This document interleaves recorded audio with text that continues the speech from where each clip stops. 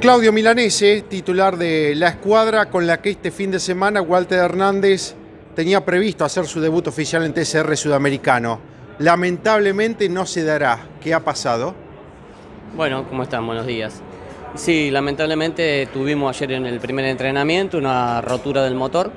Este, así que bueno, lamentablemente frustramos la, la carrera, no, no tenemos un repuesto del motor y bueno, con lo cual este, estamos desarmando para enviar el motor a reparar y será la próxima.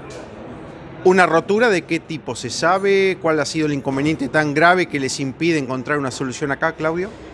Sí, mira, aparentemente tuvo abajo, se ha agarrado el motor este, por tema de lubricación. Eh, obviamente no, no, no, lo abrimos nosotros, no, no, no, es nuestra área. Y bueno, lo vamos a enviar a lo de Berta, eh, que él es el responsable, digamos, en cuanto al armado del motor. Así que bueno, él sabrá qué, hacer para reparar.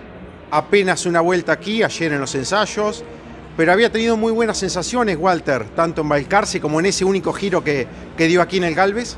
Sí, sí, tal cual. Eso un poco nos deja animado y con tristeza a la vez, ¿no? Porque sabemos que el auto está funcionando bien. Walter se llevó una muy buena sensación del auto en Balcarce y acá en la prueba que dimos fue, fue buena, fue linda. Así que bueno, la, la próxima será a pensar en el Vigicum. Gracias Claudio y lo mejor con este proyecto tan interesante que, lo afronte una escuadra de nuestro país.